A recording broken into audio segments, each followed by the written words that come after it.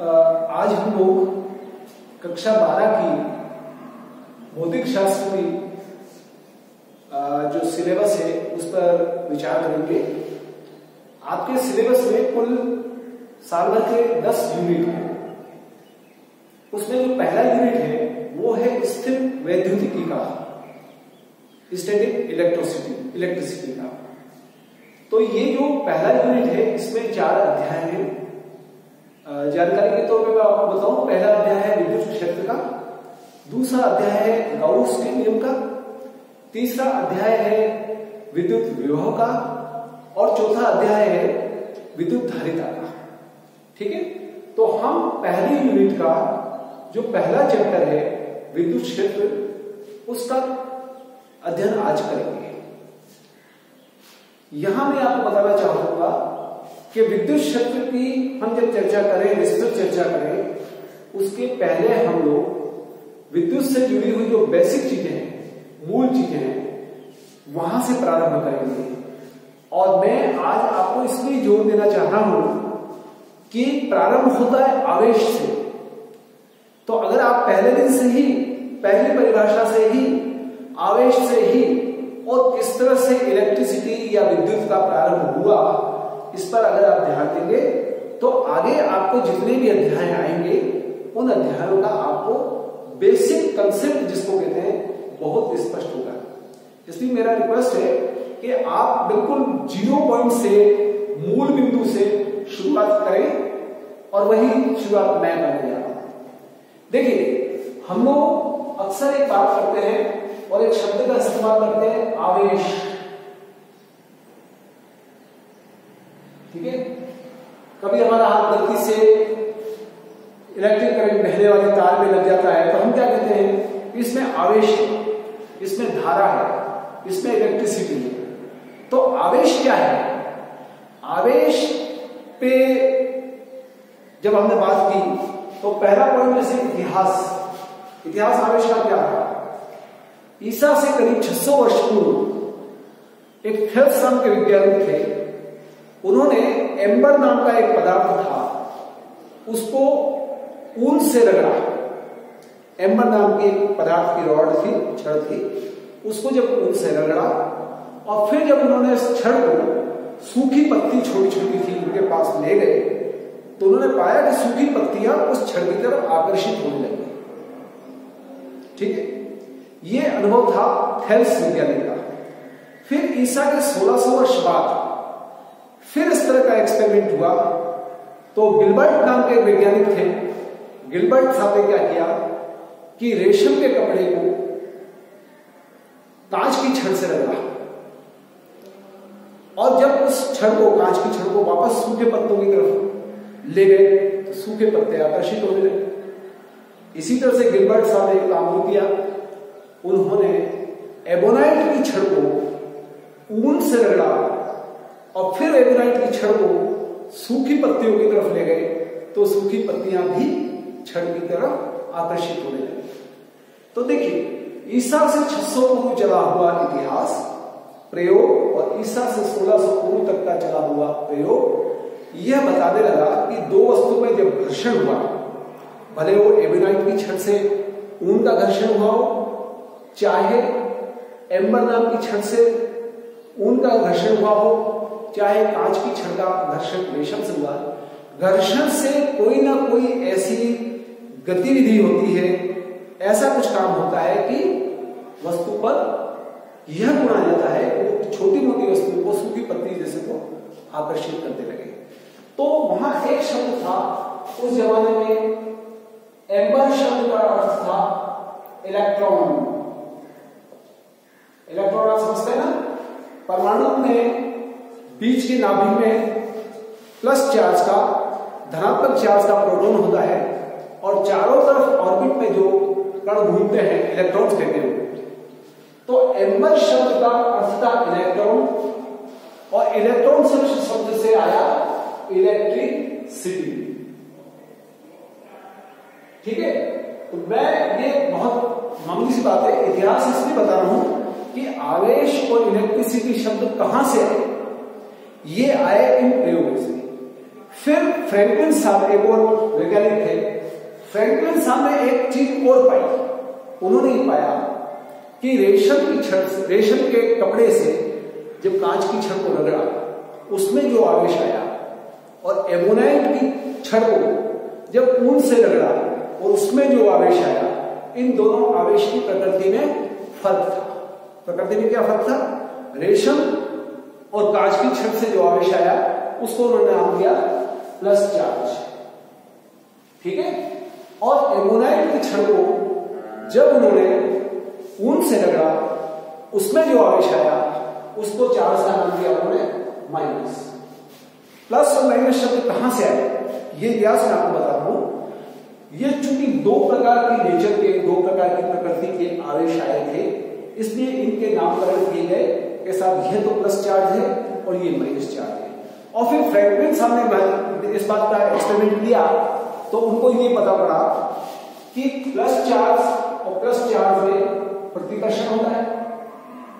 प्रतिकर्षण मतलब ये चार्ज में प्लस है, ये प्लस माइनस चार्ज में प्लस है, दोनों को पास लाइए, दोनों दूर भागे हुए।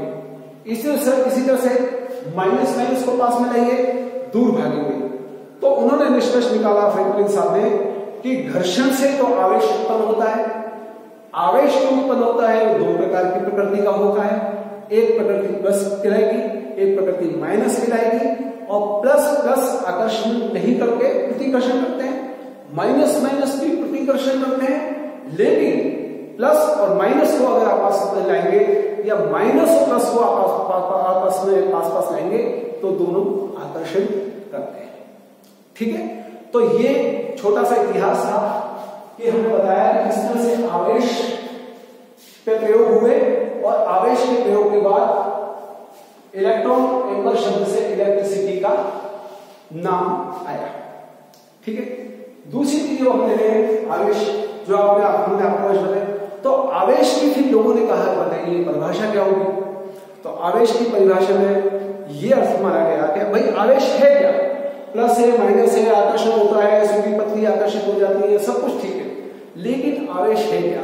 तो निष्कर्ष निकला कि प्रत्येक पदार्थ का एक ये लेस गुण है। लेस गुण मतलब प्रकृति से ही अपने आप जो गुण आता है, उस गुण को लेस गुण कहते हैं। तो आवेश प्रत्येक पदार्थ में स्वतः ही प्रकट हुआ एक लेस गुण है। ऐसा लेस गुण है जिसके कारण हम या तो चुंबकी और या विद्युती प्रभाव, अनुभव करते हैं। आवेश क्या हुआ? आवेश की मोटे परिभाषा क्या हुई? आवेश प्रत्येक पदार्थ का एक लेस यानी प्राकृतिक गुण है। एक ऐसा गुण है जिसके कारण हम आवेश के प्रभाव में पैदा हुआ विद्युतीय प्रभाव या चुंबकीय प्रभाव का अनुभव करते हैं। ठीक है? तो हमने इतिहास देख लिया। हमने इतिहास में आवेश की मूल मूल रूप से परिभाषा दी। तीसरी चीज़ आ रही कारण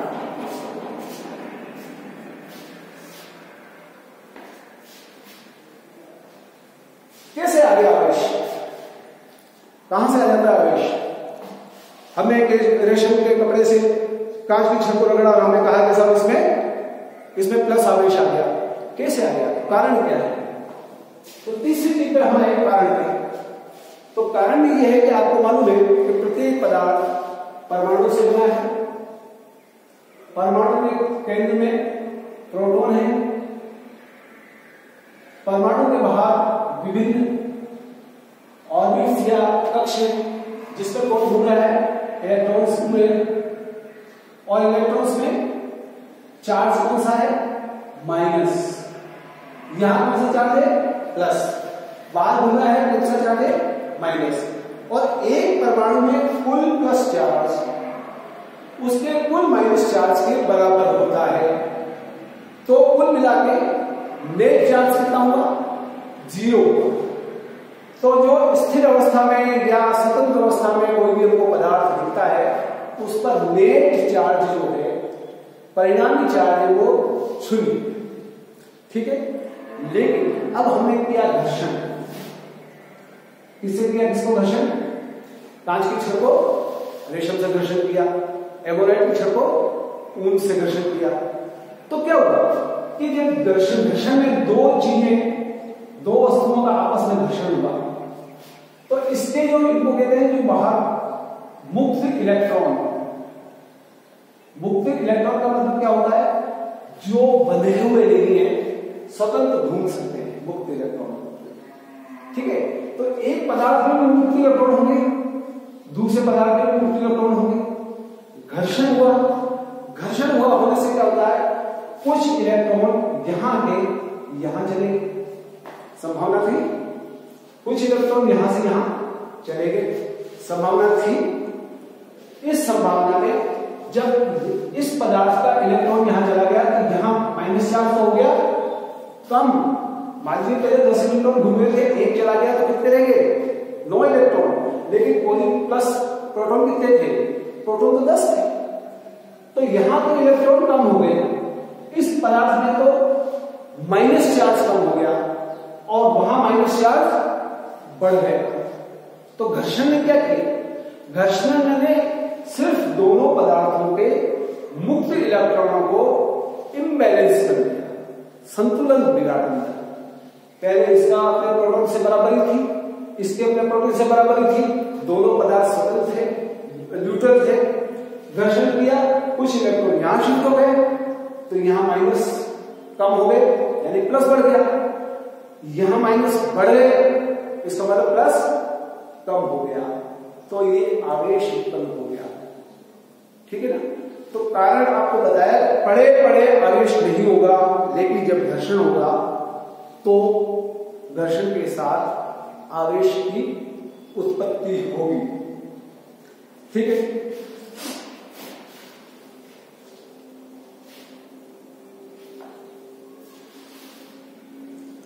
अब चौथी बात थी इकाई आवेश की इकाई क्या होगी? देखिए, एक शब्द आपको सुना होगा। विद्युत धारा। मैं क्रमशः चल रहा हूँ, क्रमशः। पहले मैं आवेश की बात की। अब आवेश जब आ गया दो वस्तुओं के घर्षण से तो आवेश क्या करेगा?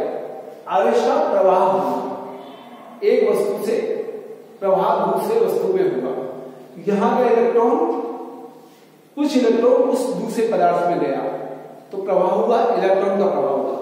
तो इलेक्ट्रॉन का जो प्रभाव होता है, उसको हम कहते हैं धारा बह रही विद्युत, वैद्युतिक शब्द तो आ ही गया। अब विद्युत धारा शब्द आया।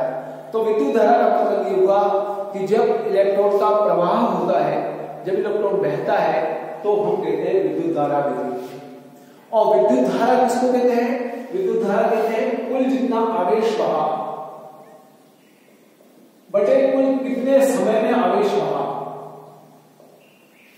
ठीक है ना? तो इकाई समय में किसी चालक के अंदर से बही हुई विद्युत धारा को आवेश के समझिएगा मैंने आपको एक फॉर्मूला दिया कि विद्युत धारा हम इसको कहेंगे, इकाई समय में सुचालक के अंदर बहने वाले आवेश को, इकाई समय में बहने वाले आवेश को विद्युत धारा कहते हैं। ठीक है ना? तो मान लीजिए इस विद्युत धारा को मैं लेता हूँ आई आवेश बहा क्यू समय था टी टी रख दिया मैंने वन टी बराबर वन सेकेंड एक सेकेंड में, एक सेकेंड में टी कितना हुआ? क्यू बटे टी क्यू बटे वन आई बराबर। इसका मतलब इकाई समय एक सेकेंड में सुचालक के अंदर बहने वाली विद्युत धारा उस सुचालक में उपस्थित आवेश की मात्रा को बताता है। ठीक है? तो आवेश की इकाई आई यहाँ से। अब हमने एक बात करी। हमने लिया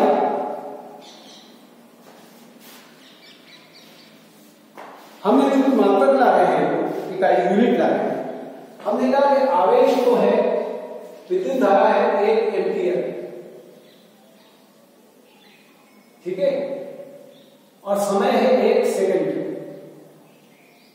समय को दे रहा हूँ मैं सेकंड में, धारा को दे रहा हूँ एक एम्पियर में। चूँकि दोनों एक हुआ तो आवेश क्या हुआ? आवेश को हम कहते हैं एक कूलाम ये आपकी मात्रा है। इकाई। मात्रक तो कूलाम मात्रक कहाँ से पैदा हुआ? कूलाम मात्रक इस लाइन से पैदा हुआ कि धारा एक एम्पियर होनी चाहिए, सुचालक में बहने वाली, और एक सेकंड तक बहनी चाहिए। उस बहने वाली धारा के कारण उस सुचालक में जो आवेश है, उसको हम एक गुलाम आवेश कहेंगे। ये मात्रक हुआ। ठीक है? ये मात्रक बड़ा मात्रक है। छोटा मात्रक माइक्रो गुलाम नैनो गुलाम ठीक है? जैसा जैसा आपका एक्सपेरिमेंट होगा, उस हिसाब से आप छोटी और बड़ी यूनिट को ले सकते हैं। Micro coulomb 10 raised to power minus 6 coulomb. 10 raised to power minus 9 coulomb. Nano coulomb micro coulomb बड़ी पावर लाइन में, बड़ी चीज़ में, जहाँ करंट बह रही है आवेश मेरा है, वहाँ कूलाम में कहते हैं। छोटी मात्रा में जहाँ बह रहा है, वो माइक्रो कूलाम कहते हैं, और छोटी में बह रहा है उसको नैनो ठीक है? तो ये इसका होगा मात्रा।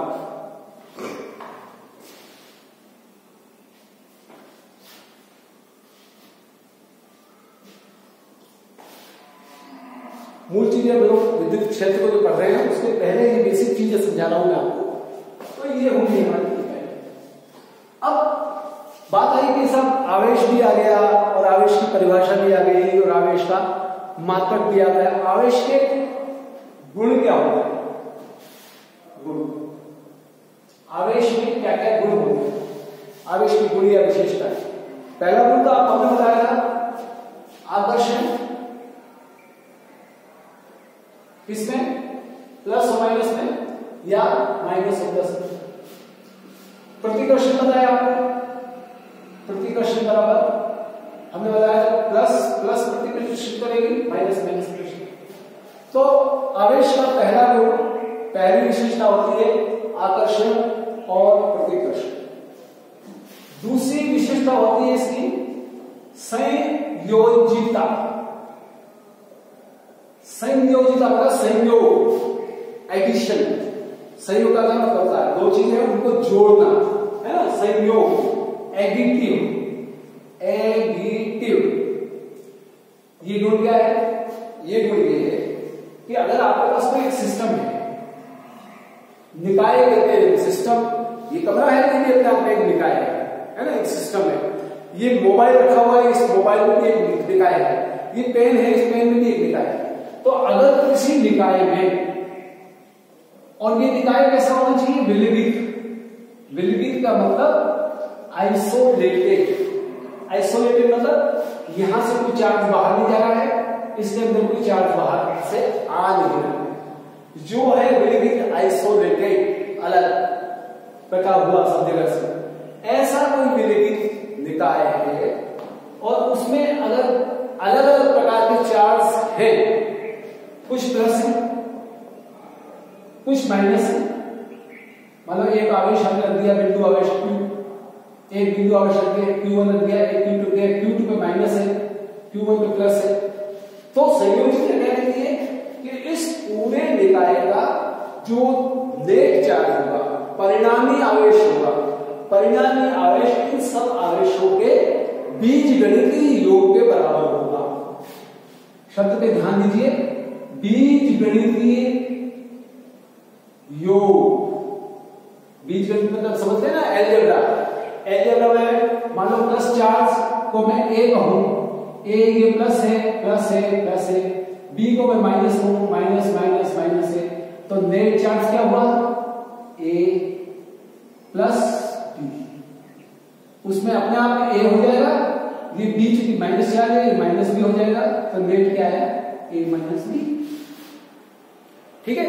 तो संयोजिता ये कहती है कि किसी विकृति निकाय का जिसमें बहुत विभिन्न प्रकार के आवेश उपस्थित हैं, उस विकृत निकाय का नेट, परिणामी आवेश, उन समस्त आवेशों के बीज गणित योग के बराबर होगा।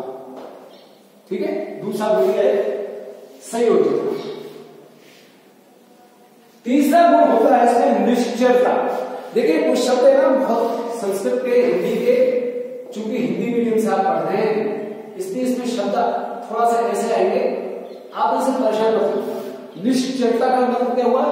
चर मतलब चर अचर दो शब्द होते हैं चर का मतलब जो बदलता रहता है, बदलता रहता है। अचर मतलब कॉन्स्टेंट नहीं बदला। संख्या पाँच है, पाँच। भले अमेरिका में देखो तो पाँच पाँच है। भारत में गई तो पाँच पाँच है। वो क्या क्या है संख्या अचर। और चर क्या हुई मैंने लिख दिया ए बी सी डी एक अभी तीन भी हो सकता है कभी आठ हो सकता है। तो निश्चलता का अर्थ क्या है?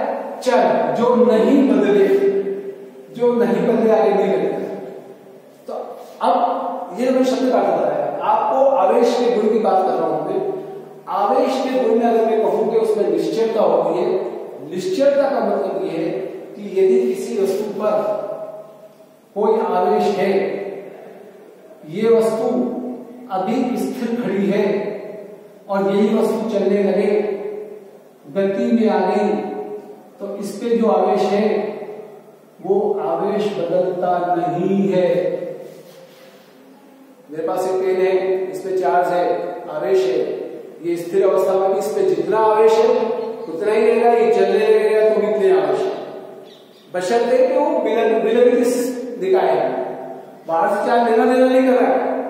आप दूसरी डिस्टर्बेंस नहीं है दूसरे परिवर्तन का कोई स्कोप नहीं है, संभावना नहीं है। दूसरी जगह से कोई चार्ज मिल नहीं रहा है। जो है उसके पास जितना है, वो स्थिर अवस्था में खड़ा है तो भी उतना ही चार्ज होगा आवेश होगा। और अगर वो गतिशीलता करेगा तो भी उसका आवश्यक नहीं होगा। इसको कहते हैं निश्चयता। कि चर नहीं होगा बदला नहीं है ठीक है? एक गुण होता है? संरक्षण।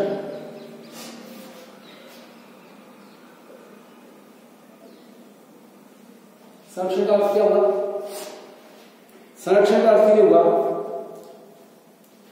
कि एक विलंबित सिस्टम है, मैं थोड़ा इसको मिटा देता हूँ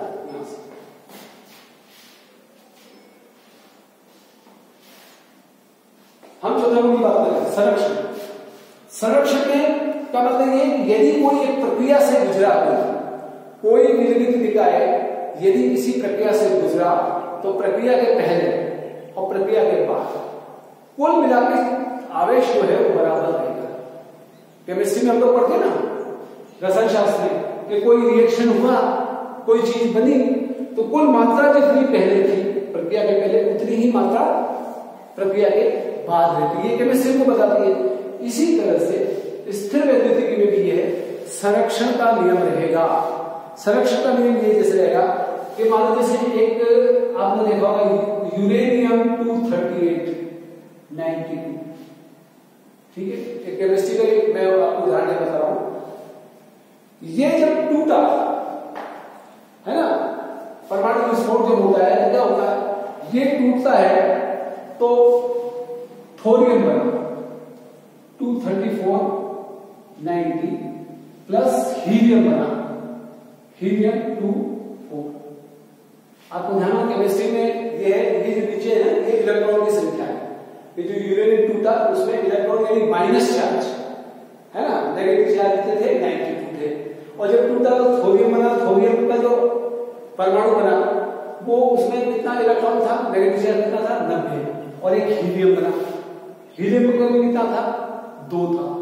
तो आप देखिए, बानवे था नब्बे और दो। बराबर हो गया? तो विलगित निकाय ने किसी भी प्रक्रिया से गुजरा तो उस प्रक्रिया के पहले उसमें कुल जितना चार्ज था, कुल जितना आवेश था, वो उस प्रक्रिया के बाद भी उतना ही आवेश रहता है। ये संरक्षण का नियम है। सिर्फ़ रूप बदला है, स्वरूप बदला है। 92 खाली यूरेनियम में था, टूट के थोरियम और हीलियम दोनों में मिलके आ गया। लेकिन लेकिन चार्ज कम ज़्यादा नहीं हुआ। तो ये क्या हुआ? कंजर्वेशन, जिसको अंग्रेज़ी में कहते हैं, संरक्षित, सुरक्षित है, जितना था कुल उतना ही ठीक है? एक गुण और होता है इसमें आवेश के गुणों की बात करें क्वांटीकरण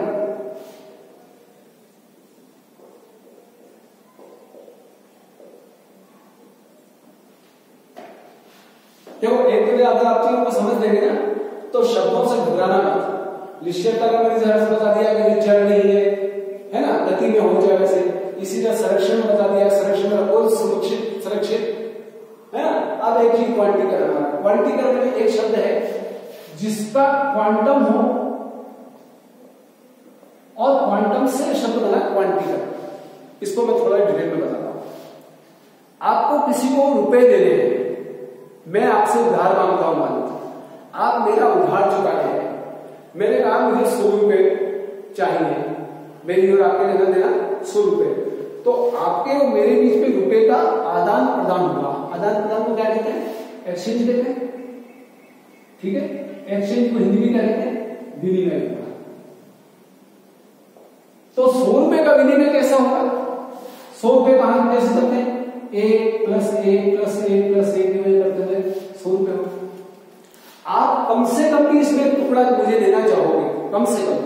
तो एक रुपये तो दोगे, है ना? एक वोटर पैसे भी हो सकते हैं इसके बाद, मैं वोटर में बात कर रहा हूँ। चाहे पैसे हो तो पैसे भी तो लास्ट में जाके एक पैसा ही होगा ना। तो ऐसा विनिमय ऐसा एक्सचेंज जिसकी एक न्यूनतम राशि हो। और पूरा विनिमय उस न्यूनतम राशि के माध्यम से होता हो। एक रुपया या एक पैसा समझ लीजिए। एक पैसा टूट तो नहीं सकता ना। एक पैसा एक पैसा एक पैसा एक पैसा एक पैसा जुड़ के ही तो सौ रुपये होंगे ना। एक पैसा टूट नहीं सकता। तो इसका मतलब हुआ कि न्यूनतम राशि क्या है? वहाँ एक पैसा है। या रुपए को तो रुपए इसको कहते हैं कि ये जो विनिमय है ये सतत नहीं होंगे विविध नदी में पानी बहता है तो आप ये नहीं कह सकते कि नदी का पानी यहाँ खत्म होकर यहाँ से नया शुरू हुआ, यहाँ से। कुल मिला के ये रहा सतत निरंतर और विविध का मतलब टुकड़ों टुकड़ों टुकड़ों में, एक पैसा एक पैसा एक पैसा एक पैसा। इसका मतलब हुआ कि आवेश का जब भी विनिमय होगा, वो सतत नहीं होता है। आवेश का विनिमय न्यूनतम मात्रा के रूप में होता है। तो आवेश के मामले में जो न्यूनतम मात्रा होता है ये होता है, उसको कहते हैं क्वांटम समझे ना? इसका मतलब ये कि आवेश को यो स्मरण मोटे तो जैसे एक रुपए का एक नोट होता है या एक पैसे का एक सिक्का होता है उसी तरह से एक क्वांटम एक कोई पैकेट है मान लीजिए आवेश का एक पैकेट है। इस एक पैकेट को मैं एक क्वांटम दे और आवेश जा रहा है, आवेश का लिया लेना देना हो रहा है एक्सचेंज हो रहा है हो रहा है तो ये packet packet packet packet packet packet विभिन्न रूपों में कुल आवेश का लेना, देना, विनिमय एक्सचेंज होता है। तो ये जो न्यूनतम राशि है क्वांटीकृत जो राशि है, आवेश हमारा, उसका जो विनिमय हो रहा है, वो न्यूनतम राशि हो रहा है, उस न्यूनतम राशि को एक क्वांटम कहते हैं। और इसका अर्थ ये हुआ कि आवेश का विनिमय क्वांटम की कुल संख्या के रूप में होता है। कैसे? गणित के रूप में बताओ। अगर आप कहते हैं क्यू आवेश है तो क्यू आवेश बहते हुए पानी की तरह नहीं है? सतत नहीं है। क्यू आवेश है? प्लस माइनस एन ई ये देखिए, नई बात है। ई क्या है? एक इलेक्ट्रॉन का आवेश।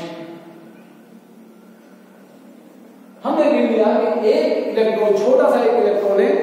उसका जो आवेश है, उस आवेश में और एन बराबर क्या है? वन टू थ्री फोर है ना? तो एक इलेक्ट्रॉन का आवेश हुआ ई एक इलेक्ट्रॉन का आवेश दो का तीन का चार का पाँच का, यानी कुल आवेश को जब जब आप गणना करोगे कि किसी में कितना आवेश है या कितना आवेश लिया, दिया जा रहा है तो वो Q equal to plus minus N A E फॉर्मूले से होगा। इसका मतलब हुआ ई e हमारा एक क्वांटम है, एक इलेक्ट्रॉन का जो आवेश है वो एक क्वांटम है।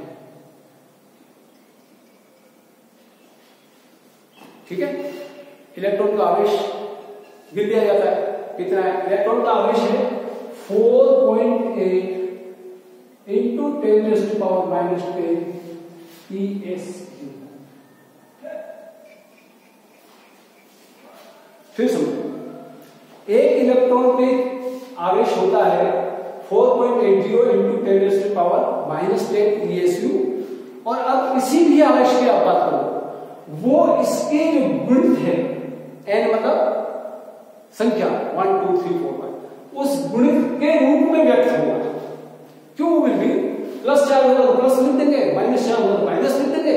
लेकिन इलेक्ट्रॉन का जो मिनिमम पैकेट है क्वांटम है, सबसे छोटी यूनिट है, न्यूनतम यूनिट है वो एक इलेक्ट्रॉन की चार्ज की है। एक इलेक्ट्रॉन के आवेश की है उसमें गुणा होकर ही आवेश का लेना देना होता है, ये क्वांटिटी तो आवेश कभी भी सतत रूप में नहीं जाता है आवेश हमेशा क्वांटिकृत रूप में जाता है। इसका भी थोड़ा सा इतिहास बताऊँ, एक मिलीगन करके मिलीगन एक वैज्ञानिक हुआ करते थे। मिलीगन साहब ने क्या किया तेल की बूंदों पे कुछ एक्सपेरिमेंट किया, तेल की बूंदों पे। उन्होंने गर्म तेल की बूंदे बहुत सारी ठीक है? और गर्म तेल की बूंदों में एक एक बूंद पे उन्होंने आवेश का कैलकुलेशन किया। इस पे कितना कितना, इस पे कितना। उन्होंने कॉमन बात मानी उनका मैं छोटी बूंद लू चाहे बड़ी बूंद लू चाहे अलग साइज़ की बूंद लू प्रत्येक बूंद में जो आवेश निकल रहा है, वो किसी न किसी चीज़ की गुणित में आ रहा है। ई की गुणा में आ रहा है। ई के गुणे में आ रहा है। या तो ई का दस गुना आ रहा है, या ई का दो गुना आ रहा है। या ई का पाँच गुना रहा है। ई सब में है और ई के गुणा में वन टू थ्री चल रहा है। तो मिलीगन ने ही यह आइडिया दिया कि आवेश का लेना देना आवेश का विनिमय आवेश का एक्सचेंज ई की गुणा में होता है। ये क्वांटीकरण हुआ। पाँच गुण देख लिया आपने, आवेश के, हम इस पांचवी चीज़ को हम अब इसके बाद हम कहते हैं उत्पादन। उत्पादन मतलब हम चाहते हैं आवेश को हम उत्पादित करें, है ना? ये पहले इसमें कोई अभी आवेश नहीं है, लेकिन मैं चाहता हूँ इसका आवेश को उत्पादन करें। तो उत्पादन में कैसे कर सकता हूँ? उत्पादन तीन तरीके से। एक तो घर्षण से कर सकता हूँ, जो आपको बताया मैं गिलबर्ट ने फ्रैंकलिन ने उन वैज्ञानिकों ने ईसा से छह सौ सोलह सौ कांच की छड़ को रेशम से मिला है ना घर्षण करके एक होता है चालन और एक होता है प्रेरण। सिंपल सी बात है, जरा दर्शन, वही बताया मैंने कि दो तरह के आवेश प्रकट हुए, प्लस और माइनस, दो वस्तुओं के से। दूसरा था चालन चालन का मतलब मान लीजिए आपके पास एक सुचालक है, जिसमें चार्ज है। ठीक है? इसके पास आपका दूसरा एक चालक है जिसपे कोई आवेश नहीं है। आपने इस चालक को इसके संपर्क में लिया जोड़ दिया। तो क्या होगा कि इसके जो सरफेस में पृष्ठ पे जितना आवेश था, उसी आवेश का वितरण इसमें भी हो जाएगा समझना? अलग अलग थे तो अलग अलग में चूँकि कनेक्शन नहीं था, ये अपना चार्ज लेके बैठा था। उसके बाद कोई चार्ज नहीं था। दोनों ने जोड़ा तो ये चार्ज बहा और क्या हुआ? थोड़ा इसमें आ गया थोड़ा इसमें आ गया चार पॉइंट अगर इसमें है, दो इसमें चले गए, दो इसमें चले तीन जा सकते हैं, एक जा सकता है। कम ज़्यादा डिपेंड करता है कि आपने जो चालक है उसकी साइज़ कितनी है कितना बड़ा है तो ये जब एक्सपेरिमेंट किया कि एक गोला धन होगा एक बिजली की सिस्टम में लागू हुआ था। मैंने पता है, उजाला में हुआ था कि कोई चार्ज बाहर से आया इधर नहीं जाए। दूसरा गोला रखा था, वो भी ऐसे था। दोनों गोलों को अलग अलग था। जोड़ा पूरी उसी तरह से। और फिर जोड़ के फिर वापस अलग अलग कर दिया। जुड़ा तो दोनों में बाहर चार्ज थोड़ा थोड़ा थोड़ा थोड़ा मिल गया इसके मिल ये पद्धति कौन सी हुई? ये चालन पद्धति। ठीक है? एक तीसरी पद्धति प्रेरण। प्रेरण में प्रेरण में क्या होता है कि आपको आप जोड़ नहीं रहे। आप जोड़ नहीं रहे, लेकिन किसी में चार्ज है। किसी चालक में ऑलरेडी चार्ज है, आवेश है, और आप कोई दूसरा चालक लाए बिना जोड़े ही इसका कुछ असर आता है। इस साइड का अगर चार्ज है तो ये जो इससे इसकी तरफ़ वाला पोर्शन है, उसमें माइनस चार्ज आ जाता है। और माइनस चार्ज कितना जाएगा? उतना ही आ जाता है जितना इस पे प्लस चार्ज था इसको कहते हैं प्रेरण। प्रेरण समझे ना? प्रेरण का मतलब जैसे मैं आपको प्रेरणा दे रहा हूँ कि आप पढ़िए तो मैं आपके संग बैठ खुद तो नहीं पढ़ रहा हूँ लेकिन मैंने आपको प्रेरणा दी। इसी तरह से आवेश वाला संचालक आया, पास में बिना आवेश का संचालक आया यहाँ से कुछ प्रेरणा हुई उस प्रेरण से यहाँ चार्ज चला। इस पर भी एक्सपेरिमेंट हुए इस पर एक्सपेरिमेंट उन्होंने क्या किया? वही गोले विलिबिलिटी सिस्टम आ नहीं रहा जा रहा है प्लस प्लस प्लस बिना टच किए इसको यार दूसरा विलिबिलिटी सिस्टम का गोला लगा या माइनस हो गया। फिर क्या किया? इसको नीचे भू संपर्क कर दिया, ज़मीन से अर्थिंग कर दी। तो ये अर्थिंग करके चार्ज का कहाँ चला गया? नीचे चला गया सब, वापस न्यूट्रल हो गया। तीसरे में क्या किया? इस सिस्टम को जो भू संपर्क वाला सिस्टम इसको हटा दिया। एकदम हटा दिया तो ये जो माइनस चार्ज इसके कारण से करंट आया ये कहा? इसके बेस पे आ गया। माइनस चार्ज ले सकते और फिर इसको काफ़ी दूर ले गया तो काफ़ी दूर लेने के बावजूद इसमें minus charge minus charge minus इसमें प्लस है। तो ये सब सारा कार्यक्रम कैसे हुआ? ये कार्यक्रम कैसे हुआ कि आपने किसी आवश्यक सुचालक के पास कोई अनावश्यक सुचालक लाए और प्रेरण से आवेश दूसरे सुचालक में चले तो ये आवेश के उत्पादन के तीन तरीके हैं, घर्षण, चालन और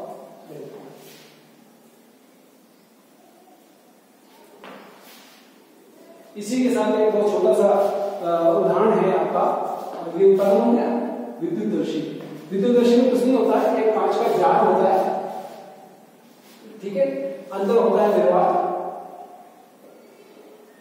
यहाँ एक फॉर्म होता है ढक्कन लगा है। लगा है। इसके अंदर से एक रॉड जाएगा जाएगा ठीक है? छड़ के नीचे स्वर्ण पत्ती सोने की दो पत्तियाँ लगी है इसे। ठीक है? ये लोहे की रोड है। अब मैं इस लोहे की रोड पे मान लीजिए कोई चार्ज की आवेश जिसमें है उस चार्ज की रोड को इसके पास लाता हूँ और मान लीजिए मैंने इसको टच करा दिया ठीक है ना? इस रोड पे चार्ज नहीं है।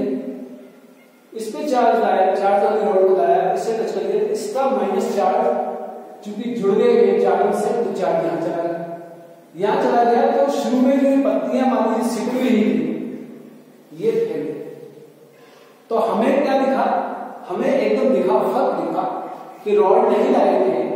तब ये पत्तियों की पोजिशन मतलब यो थी, रॉड लाए, टच किया, पत्तियाँ जोड़ी। और जोड़ी भी हो सकती है, सिकुड़ भी सकती है। जोड़ी और सिकुड़ इसमें इस पर निर्भर करता है। यदि इस पर प्लस चार्ज है, रॉड का पहले से। आप माइनस चार्ज दिया है है तो प्लस और माइनस जुड़ के क्या होगा? आकर्षण होगा तो आकर्षण हो गया तो ये दोनों पत्तियाँ सिकुड़ गई इस पे प्लस है, यहाँ भी प्लस में है, प्लस हो गया तो प्लस प्लस में पत्तियों पर जब चार्ज गया, पत्तियाँ प्रतिकर्षित हो गई। तो इस एक्सपेरिमेंट से हम ये देख सकते हैं किसी वस्तु पे आवेश माइनस का है या प्लस का है, उसको हम इस एक्सपेरिमेंट से देख सकते हैं। ठीक है?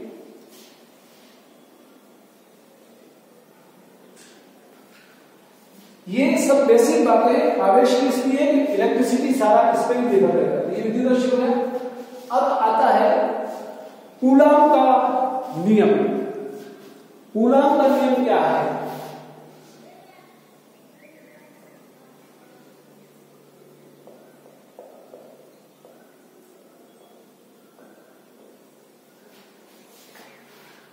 सपोज़ कल्पना कीजिए कि एक आपका विलिगित सिस्टम है। विलिगित निकाय है। विलिगित मतलब वही? विलगित निकाय। जिसमें न चार्ज अंदर से बाहर जा रहा है, न बाहर से कोई चार्ज आ रहा है। और इसमें दो स्थिर क्योंकि स्थिर विद्युत की बात होती है ना, स्थिर विद्युत की मूवमेंट के लिए, दो स्थिर बिंदुवत आवेश हमने आवेश रख दिए। एक रखा प्लस, एक रखा क्यू वन एक रखा क्यू प्लस भी हो सकता है, माइनस भी हो सकता है। दोनों प्लस हो गए तो क्या होगा? प्रतिकर्षण होगा। दोनों माइनस हो गए तो भी प्रतिकर्षण होगा। अगर प्लस माइनस हुए तो आकर्षण होगा। तो कूलाम सब ये कहते हैं कूलाम एक वैज्ञानिक है। कूलाम का नियम ये कहता है कि किसी भी निकाय में यदि स्थिर बिंदु पर दो आवेश रखे जाते हैं तो उनके बीच में उनकी आवेश की प्रकृति के अनुसार, प्रकृति के अनुसार मतलब प्लस है plus minus minus plus plus होगा तो प्रतिकर्षण माइनस प्लस होगा तो आकर्षण। विलगित निकाय में स्थिर बिंदु पर दो आवेशों के बीच में एक बल काम करता है फोर्स काम करता है। आकर्षण हुआ, प्रतिकर्षण हुआ तो बल ही तो हुआ। बल से ही तो आकर्षण हो रहा बल से प्रतिकर्षण है ये फोर्स जो है, बल है। ये बल दोनों चार्ज आपस में महसूस करते हैं और वो किस पे डिपेंड करता है? F is proportional to Q one F is proportional to Q two मतलब क्यू वन की कितनी मात्रा है क्यू की कितनी मात्रा है, इन दोनों आकर्षण बलों पर ये निर्भर करता है। और एक निर्भर करता है दोनों के बीच की दूरी का बटे दूरी का स्क्वायर देखिए, इसका मतलब ये हुआ कि यदि Q1 ज़्यादा है Q2 ज़्यादा है तो F ज़्यादा तो Q1 ज़्यादा, F ज़्यादा तो Q2 ज़्यादा, है ना? समझने वाली बात है कि फोर्स कब ज़्यादा होगा जब इसकी मात्रा भी ज़्यादा है। और डिस्टेंस पर भी निर्भर करता है। एक Q1 यहाँ बैठा है Q2 यहाँ बैठा है। तो दोनों के बीच की जितनी डिस्टेंस कम होगी कम होगी तो F की मात्रा ज़्यादा होगी ना? D कम से कम होगा तो भाग लगाओगे तो F ज़्यादा से रहेगा यानी Q1 के अगर पास में Q2 है तो ये फोर्स ज़्यादा हो गया।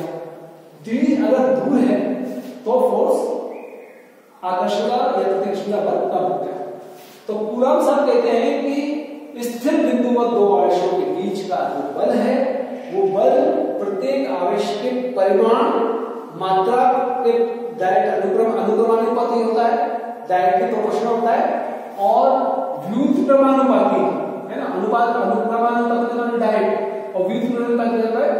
वन अपॉन डी स्क्वायर और डी कहाँ है डी का मतलब दोनों के बीच की डिस्टेंस ठीक है? तो इससे क्या फॉर्मूला बना? एफ़ इक्वल टू जब मैं बराबर कर करूँगा तो Q1 Q2 बटे डी स्क्वायर और कांस्टेंट के आपने गणित में देखा होगा कि जब हम प्रोपोर्शन का चिन्ह हटाते हैं तो एक कांस्टेंट लगाते हैं कि दोनों के बीच का जो संबंध है, वो कॉन्स्टेंट है। इस के को क्या कहते हैं? इस के को, ये के की मात्रा होती है four four one by four by E रो ठीक है? इस कांस्टेंट की मात्रा फिक्स है फिक्स पाई का मात्रा फिक्स है रो का रो ज़ीरो फिक्स है, और इसको क्या कहते हैं? परमिटिविटी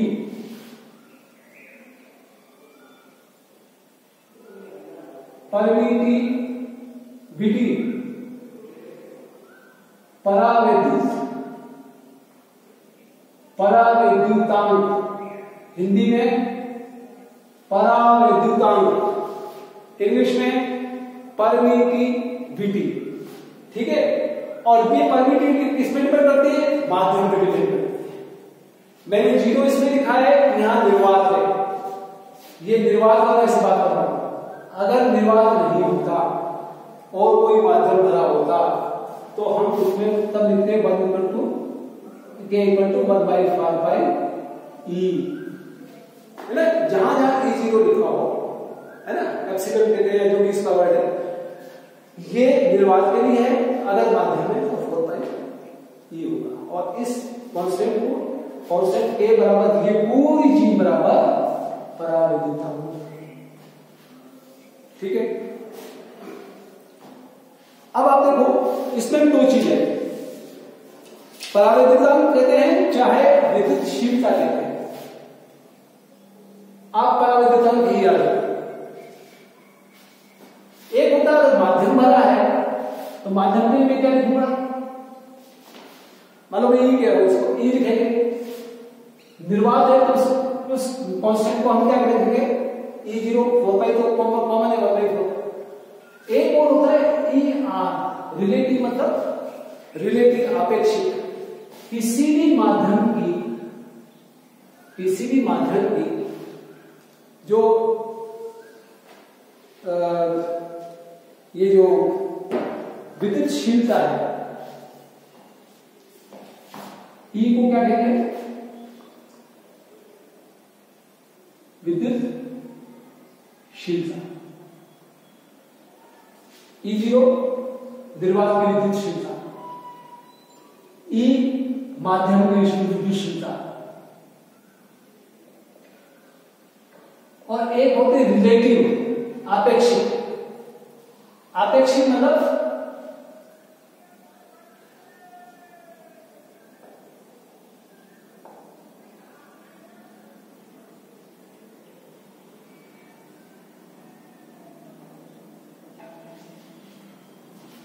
कंफ्यूज नहीं फिर बताऊँगा। यहाँ तक ठीक है is proportion to Q one Q two one by D square है ना? तो K equal to Q one Q two by D square constant K के बराबर one by four by E zero माध्यम अगर ई ज़ीरो अगर कोई माध्यम भरा तो उसको ई कहेंगे, और एक होता है रिलेटिव रिलेटिव का मतलब होता है विद्युत है ई को हम विद्युत सुशीलता कहेंगे, ठीक है ना? ई को विद्युत सुशीलता कहेंगे, और ई आर किसको कहेंगे माध्यम की विद्युत विद्युतशीलता बटे निर्वात की विद्युतशीलता यानी अपेक्षित रिलेटिव हमने दो की तुलना की, उन दोनों का जो भाग लगा के अनुपात आएगा, उसको कहते हैं रिलेटिव विद्युतशीलता रिलेटिव विद्युतशीलता या परमिटिविटी परमिटिविटी परमिटिविटी किसकी? उस माध्यम की जो इस माध्यम में आप जिस माध्यम में ये चीज़ भरी हुई तो नए टर्म्स क्या है हमारे पास? परावैद्युत माध्यम। एक तो निर्वात है। अगर इसके अंदर माध्यम है तो इसको क्या कहेंगे हम? परावैद्युत माध्यम। परावैद्युत माध्यम है? तो हम फॉर्मूले में ई लिखेंगे। निर्वात है तो हम लोग फॉर्मूले में ई ज़ीरो लिखेंगे। और ई आर रिलेटिव बराबर ई e बटे ई e ज़ीरो ठीक है ये ई e आर को हम क्या कहेंगे परावैद्युता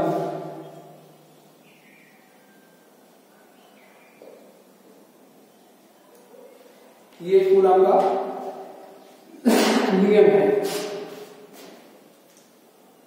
तो हम इस फॉर्मूले को फिर कैसे लिख सकते हैं?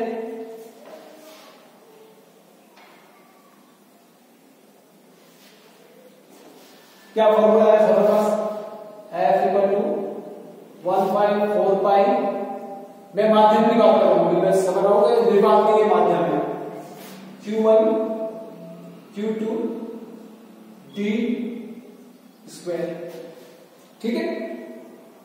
अगर मैं माध्यम की विद्युत की बात करूँ, ये एक माध्यम की विद्युत इसको मैं अगर उसमें परवैध परावैधता में रूप में लिखना चाहूँ तो मैं क्या लिखूँगा? वन बाई फोर पाई और फॉर्मूला में पास क्या E R relative to E by E zero तो e बराबर क्या होगा E R E zero E R E zero वही Q one Q two divide D square depend करता है कि मैं अगर इसको खाली e में लिखना चाहूँ, खाली माध्यम की विद्युत में लिख तो मैं खाली e लिखना। और मैं कहूँगा नहीं कि परावैद्युतल के रूप में लिखना है तो परावैद्युतल में मैं E R dot E zero लिखूँगा। ई क्या है। रिलेटिव रिलेटिव मतलब माध्यम की विद्युतशीलता बटे ये फॉर्मूला अब एफ़ जो बल है, बल क्या है? बल सदिश राशि वेक्टर राशि। इसको अगर वेक्टर में लिखूँगा मैं, सदिश राशि के सदिश को ये लिखूँगा one one by four by E तो ऐसे रहेगा। ठीक है?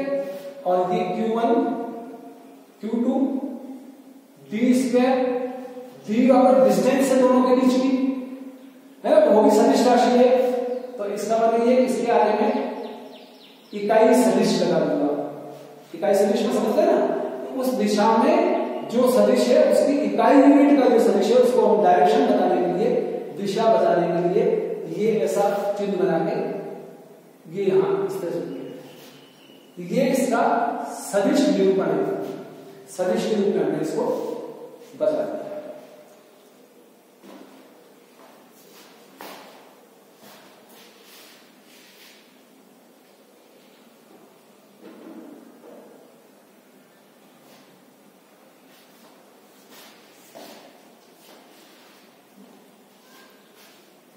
के नियम की कुछ सीमाएँ हैं। पहली सीमा तो यह है कि ये छोटे स्थिर बिंदुओं पर ही ये नियम परफेक्ट रूप से लागू होता है। मतलब अगर आप बड़े चार्ज ले लोगे, बड़ी मात्रा का आवेश ले लोगे तो उससे नियम थोड़ा सा कम लागू होता है। दूसरा ये डिस्टेंस अगर कम है डी कम है तो डी पर ही अधिकतम ये लागू होता है।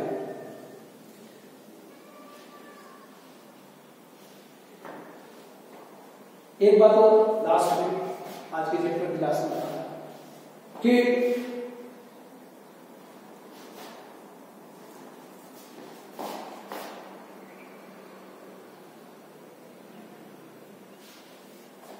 सपोज़ ये चार्ज Q1 है, ठीक है? और एक चार्ज आपका यहाँ पर रखा है Q2 ठीक है? और कूलाम के नाम नियम के हिसाब से दोनों के बीच में कूलाम का एक फोर्स लग है, बल लग है। वो बल हमने कैसे मिला? मात्रा में नहीं गिर लिया सदिश रूप में कैसे गिरेंगे ये देखिए कूलाम का नियम कर दिया अब नियम का सदिश रूप में रहा सदिश रूप में कैसे लिखा गया? तो हम क्या कहते हैं परीक्षण चार्ज बताया परीक्षण चार्ज मतलब टेस्ट चार्ज जैसे कहते हैं, आप जब इसको टेस्ट करते हैं। थर्मोमीटर से टेम्परेचर टेस्ट करते हैं ना? तो थर्मोमीटर से टेस्ट करते हैं, उसी तरह से परीक्षण चार्ज होता है। छोटा सा चार्ज होता है, उसको लेकर हम आते हैं। तो हम जैसे परीक्षण चार्ज लेके आए क्यू ज़ीरो क्यू ज़ीरो को इस सिस्टम के बीच में हम लोग रखते हैं। ठीक है? और क्यू ज़ीरो रखते हैं, मान लीजिए मूल बिंदु पे रखते हैं। ग्राफ के मूल बिंदु पे रखते हैं।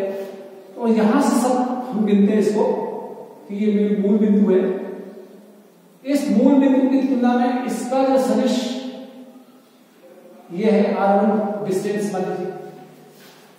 इसका सदिश है आर टू ठीक है? सदिश की दूरी भी हम बताते हैं ये आर वन है। मूल बिंदु में हमने परीक्षण चार्ज रखा है और दो चार्ज हमने Q1 और Q2 अलग अलग रखे तो Q2 पर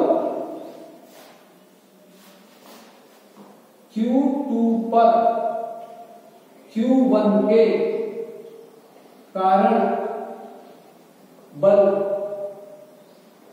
Q2 पर Q1 के कारण बल। जो लगेगा, वो यहाँ मूल बिंदु से तय हो क्योंकि सारी डिस्टेंस हमें यहाँ से ली हुई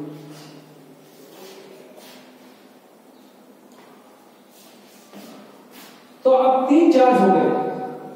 क्यू ज़ीरो भी हो गया क्यू वन भी हो गया क्यू टू भी हो गया। तो ये सिस्टम हुआ है। सिस्टम का मतलब बहु बहु चार्ज बहु आवेश। बहु आवेश में कितना फोर्स होगा? तो बहु आवेश में फोर्स इसके इसके कारण इसमें होगा? इसके कारण इसमें भी होगा। इसके कारण इसमें भी होगा। इसके कारण इसमें भी होगा। मतलब जितने ज़्यादा आवेश हो, उसमें बहुल आवेश के कारण बहुल फोर्स लगेंगे। तो उस समय में क्या होता है? कुल फोर्स कितना लगेगा? इन सारे फोर्सेस को आप जोड़ दोगे।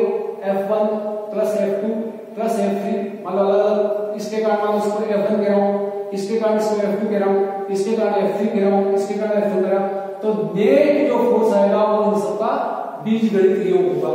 जो शुरू में बताया, अध्यारोपण का सिद्धांत इसी को कहते हैं। अध्यारोपण का कुल मिला के जोड़ने का सही चक्कर तो ये तो बहुल सिस्टम की बात कर रहा हूँ ये लास्ट में आगे होगा अध्यापन मैं। अभी खाली सदस्य पर करता हूँ मैं क्यों ज़ीरो हटा अभी मैं सिर्फ़ दो के बीच की बात कर रहा हूँ, खाली एक फोर्स की बात करता हूँ फिर वो फोर्स जैसे होंगे वैसे ही एफ़ एम एफ़ यू हो जाएगा। तो यहाँ हमने ज़ीरो पॉइंट हमारा मूल बिंदु मूल बिंदु से ओ से हमने इसकी दूरी आर वन इसकी दूरी आर टू क्यू टू पर, इस पर क्यू वन के कारण जो फोर्स लगा, वो फोर्स लगेगा किस दिशा में। एफ़ टू वन देखिए का तरीका हम क्या करते हैं? फोर्स इसके ऊपर का फोर्स और ये वन संख्या लिखते हैं इसके कारण। बाद की जो संख्या लिखते हैं ना, वो जिसके कारण है उसको लिखते हैं। इसी तरह इस पे जो फोर्स लग रहा है, वो फोर्स क्या हुआ? एफ़ वन पे लग रहा है। किसके कारण? एफ़ टू कारण ये इस दिशा में लग रहा है। ये इस दिशा में। तो Q2 पर Q1 के कारण और Q1 पर Q2 के कारण बल। F, ये तो हमने F2 वन बनाया ये बनाया हमने F1 टू वही one by four pi E माध्यम मान लीजिए है ना? कौन सा मात्रा ऊपर की क्यू वन क्यू टू बटे दूरी दूरी कितनी दूरी कितनी होगी।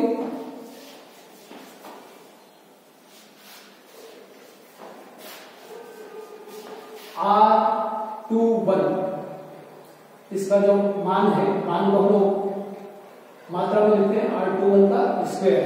बटे डी स्क्वायर था ना आर टू वन का मतलब ये, आर टू इसकी तुलना में जो एफ़ वन की, क्यू वन की तुलना में कर रहे हैं? तो यहाँ भी सिस्टम होगी आर टू वन। और दिशा बताने के लिए इसकी दिशा आर टू वन और ये इकाई यूनिट है। Q2 पर Q1 के कारण बल लगा F21 one by four pi E Q1 Q2 और डिस्टेंस हमने कैसे लिखी? डिस्टेंस भी वही पैटर्न पे F21 तो 21 इसकी एब्सोल्यूट वैल्यू कहते हैं। मान और चूँकि सदिश रूप में लिख रहा हूँ मैं, और इकाई इकाई सदिश। ठीक है? ये बराबर हुआ वन बाय फोर बाई रो Q one Q two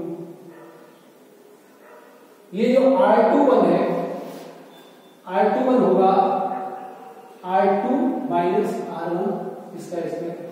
are two one मतलब इसकी तुलना में इसकी डिस्टेंस तो गणित के वेक्टर का जो गणित है वेक्टर के हिसाब से ये आर टू वन जो होगा, इन दोनों का डिफरेंस होगा आर टू माइनस आर ये वेक्टर गणित बोलती है इसमें कोई और वापस वही आर टू ठीक है?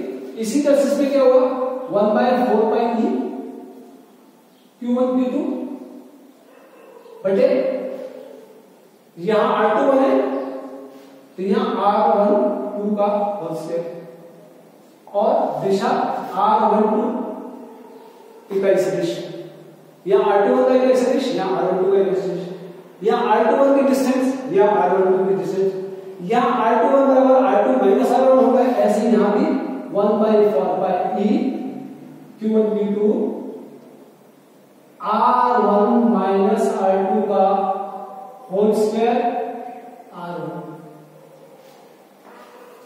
ठीक है? ठीक है? Q2 पर Q1 के बल के कारण बल और Q1 पर Q2 के कारण बल। दोनों चीज़ आ ये R one minus R two के रूप में आ गया। ये आर टू माइनस आर मैं इसको अगर यहाँ उल्टा लिखूं तो देखिए आर वन में से आर टू निकालो, क्या आर टू में से आर वन निकालो? वही प्लस आए या माइनस आए इसका चूँकि एब्सोल्यूट वैल्यू ले रहे हैं तो एब्सोल्यूट वैल्यू बराबर ही आएगी। ठीक है ना? लेकिन फ़र्क क्या पड़ जाएगा? डायरेक्शन का फ़र्क पड़ जाएगा। इसकी डायरेक्शन क्यों है? इसकी डायरेक्शन क्यों है? तो ये चीज़ हो जाएगी माइनस लग जाएगा वन बाई फोर बाई रो और Q one by Q two और ये दोनों मात्रा तो बराबर है दोनों का एब्सोल्यूट वैल्यू लग जाएगा। R one minus R two लिखूं या R two minus R one लिखूं ये तो बराबर हो गया होल स्क्वायर और ये माइनस सिक्सटी का इस आर वन टू की जगह मैं अब आर टू वन लिख रहा हूँ। आर वन टू की डायरेक्शन ये है आर टू ये है। तो मैंने चिन्ह माइनस लगा दिया और ये आर टू वन लग तो अब आप देखो कुल मिला चीज़ क्या हुई? एफ़ टू वन की मात्रा वही है जो एफ़ वन टू की है, खाली डायरेक्शन माइनस हो गया। फिर समझिए F two one Q two पर क्यू वन के बल के कारण one by four pi zero Q one Q two यहाँ तक सही था। डिस्टेंस आर टू वन का होल स्क्वायर किया एब्सोल्यूट वैल्यू का। और आर टू वन की इकाई सदिश की। उल्टा जब प्रमेय बैठा क्यू वन पर क्यू टू के कारण बन रखा तो यहाँ तक आ गया डिस्टेंस आर वन टू का और आर वन टू यहाँ आर टू वन था, यहाँ आर वन टू हो गया। डायरेक्शन अलग हो गई। और चूँकि इसकी absolute value R two minus R one होती है, और इसकी value R one minus R two होती है, और दोनों के डिफरेंस की एब्सोल्यूट वैल्यूज़ मात्रा में तो बराबर होती है, लेकिन डायरेक्शन डिफरेंट होती है तो मैंने इस R2 ये तो क्योंकि तो R1 माइनस R2 की जगह R2 माइनस R2 लिख दिया ये और ये बराबर लिख दिया और यहाँ का R2 और यहाँ का R2 मैंने इसको भी R2 लिख दिया, और ये माइनस ये माइनस लगाते ही मैंने क्या पाया कि F21 बराबर माइनस एफ़ वन टू हो गया। क्या रिज़ल्ट आया? कूलाम के नियम का हमने जब समीकरण किया तो रिज़ल्ट ये आया कि Q1 पर Q2 के कारण लगने वाला बल और Q2 पर Q1 के कारण लगने वाला बल दोनों मात्रा में तो बराबर है डायरेक्शन में अलग अलग है। ये डायरेक्शन अलग अलग है बल इधर जा रहा है, ये इधर और ये दोनों बल बीच में लगे तो किस किस लाइन के सदिश हुए? किस लाइन के इन दोनों चार्जेस को, इन दोनों आवेशों को जोड़ने वाली जो सर रेखा है, उस रेखा के अनुदिश अनुष्मन उसके सारे सारे, ये बल लग रहा है, ये वाला बल लग रहा है, ये बल लग रहा है। ऐसे बल क्या कहते हैं? ऐसे बल को फिजिक्स में कहते हैं केंद्रीय बल। केंद्रीय बल वो होता है जो दो बिंदुओं के बीच में, गुरुत्वाकर्षण के चक्कर में पढ़ा था दो बिंदुओं के बीच में लगने वाला बल, जिसकी दिशा दोनों बलों के बिंदुओं को जोड़ने वाली रेखा के अनुदिश होता है, सहारे सहारे होता है, अलग होता है, उस बल को केंद्रीय बल कहते हैं। इसका मतलब ये हुआ कूलाम का बल जो है, वो एक केंद्रीय बल है। हमने जब गुरुत्वाकर्षण का बल पढ़ा था, गुरुत्वाकर्षण बल दो वस्तुओं के बीच में लगता है, वो भी केंद्रीय बल होता है। इसका मतलब क्या हुआ कि स्थिर वेदिकी में कूलाम बल का वही महत्व है जो गुरुत्वाकर्षण बल में का महत्व मैकेनिक्स में है। ठीक है ना? नेचर दोनों का एक सा है। कूलाम बल भी केंद्रीय बल है, गुरुत्वाकर्षण बल भी केंद्रीय बल है, और केंद्रीय बल इसलिए है कि दोनों ये बल दोनों बिंदुओं के बीच में जोड़ने वाली जो रेखा है उस रेखा के अनुदिश हुए बल लागू होते हैं। और केंद्रीय बल की प्रयास क्या होती है? प्रयास मतलब रेंज कहाँ से कहाँ चलते हैं? कहाँ से कहाँ चलते हैं? Ten to power minus fifteen metre से लेकर अनंत तक। कितनी लंबी रेंज है? गुरुत्वाकर्षण बल की रेंज लागू होने का। इसी तरह से इसकी रेंज भी इतनी कम दूरी से लेकर इतनी अनंत दूरी तक भी दो आवेशों के बीच की, के बीच में पूरा बल लग सकता है। यहाँ से सूरज पे या चंद्रमा पे अगर कोई आवेश रखा है, वहाँ भी कोई ना कोई बल लग सकता है इस पूरा बल के हिसाब से। ठीक है? और तीसरा लेक्चर क्या हुआ? इस पूरा बल का कि न्यूटन का जो गति का तीसरा नियम है, कि प्रत्येक क्रिया के विरुद्ध में प्रतिक्रिया होती है, बराबर मात्रा में होती है, और डिफरेंट डायरेक्शन होती है अपोजिट डायरेक्शन में विपरीत दिशा में। यहाँ भी क्रिया की प्रतिक्रिया हो रही है और दोनों की डायरेक्शन दोनों की दिशा अलग अलग होती है। तो कूलाम नियम के गुण क्या हुए नंबर एक केंद्रीय बल है, ये निष्कर्ष बता रहा हूँ नंबर एक है कि कूलाम बल केंद्रीय बल है। नंबर दो, कूलाम बल का प्रकृति, गुरुत्वाकर्षण बल की प्रकृति के बराबर है। नंबर तीन कूलाम बल की जो प्रकृति है वो न्यूटन के गति के तीसरे नियम की पालना करती है। पालना करती है उसके समान ये इसके निष्कर्ष ठीक है? अध्यारोपण बहुआवश्यक मैंने आपको बता दिया। शुरू में बता दिया था कि इस सिस्टम में चार्ज Q1 होता Q2 होता Q3 होता Qn होता। तो ऐसे दो दो के बीच में एफ़ F1 मिलते जाओ। एफ़ टू लिखते जाओ एफ़ थ्री लिखते जाओ और सबको जोड़कर लास्ट में आप नेट बल की संख्या कर सकते हैं ये अध्यारण कोण का सिद्धांत है और बहुआर्शीय चीज़ है। उस कंडीशन में क्या हुआ?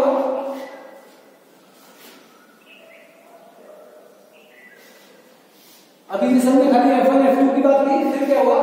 एफ़ हो जाएगा बराबर वन बाई फोर बाई वही अभी क्या था? हमारा Q one Q two by D square था है ना? और डायरेक्शन बताने के लिए हमें डी का इकाई सदिश दिया। इसमें क्या हो जाएगा?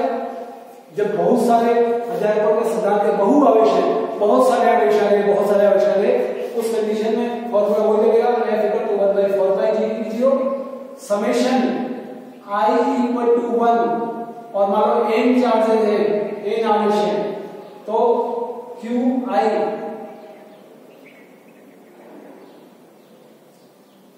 बाई ये समझ लिया ना यहाँ R two one R one two ऐसे। आर आई एन स्क्वेयर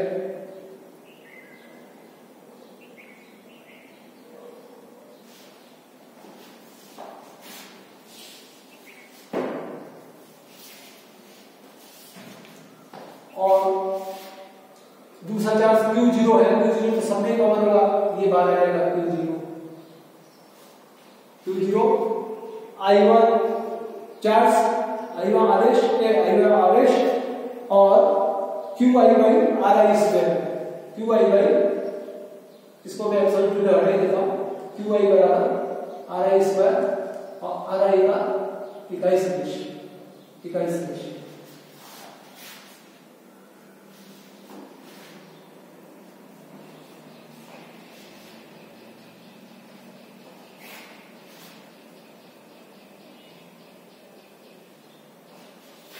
एक दो मिनट फिर रिपीट कर देता हूँ जिस तरह से यहाँ था, दो चार्ज के बीच में Q1 है और Q2 है, इसके बीच में जो हमने F की बात की तो ये हमने कितना निकाला? One by four pi E Q one Q two by R square और इकाई सदिश अब हमारे पास अन्य चार्जेस है Q1 है Q2 है Qn है। तो हमारा F कैसा आ गया इसी पैटर्न पर one by four pi e अच्छा यहाँ बहुत सारे चार्ज है तो हमने यहाँ एक परीक्षण चार्ज रखा। परीक्षण चार्ज मतलब एक कोई क्यू ज़ीरो नाम का रखा, और फिर ये Q one Q two Q three या क्यू एन है, इनका असर इस क्यू ज़ीरो में देगा एक छोटा सा परीक्षण चार्ज लिया है। परीक्षा आवश्यक इन सबका असर इस पे देगा तो इससे इसका संबंध निकाला, इससे इसका निकाला, इससे इससे निकाला। तो सब में क्यू ज़ीरो तो कॉमन हो गया। तो वन बाई फोर पाई ये क्यू ज़ीरो तो बाहर आ गया और समेशन लग गया समेशन कर दिए क्यू वन की जगह क्यू ज़ीरो है ये बाहर आ गया। ये क्यू आई आई वन और आर डिस्टेंस की आर आई स्क्वायर और ये आर आई का इकाई सदिश ये इसी का कॉमन फॉर्म आ गया। जनरल फॉर्म आ गया आई के रूप में लिख दिया। या क्यू वन क्यू टू था। क्यू वन की जगह मैंने क्यू ज़ीरो लिख दिया और क्यू टू की जगह मैंने टू की जगह सब जगह आई लिख दिया। I one I one charge I one Adesh. I one आदेश कौन सा मिल सकता है? पहला नंबर, दूसरा नंबर, तीसरा तो ये चीज़ आपकी अध्यारोपण और आवेश परिभाषा मैंने बीच में ले ली थी। परिभाषा में परावैद्युत माध्यम दिया था मैंने कि यदि चार्ज क्यू और क्यू के बीच में विलगित निकाय के अंदर जो चीज़ भरी हुई है, माध्यम भरा है, उस माध्यम को परावैद्युत माध्यम कहते हैं। ठीक है? और वो जो के आई के आया था K equal to one by four by e इस के को हम कहते हैं विद्युतशीलता। ये परिभाषा है, विद्युतशीलता। अगर इसमें ई की जगह में ई ज़ीरो लिखूं ये होगी निर्वात की विद्युतशीलता।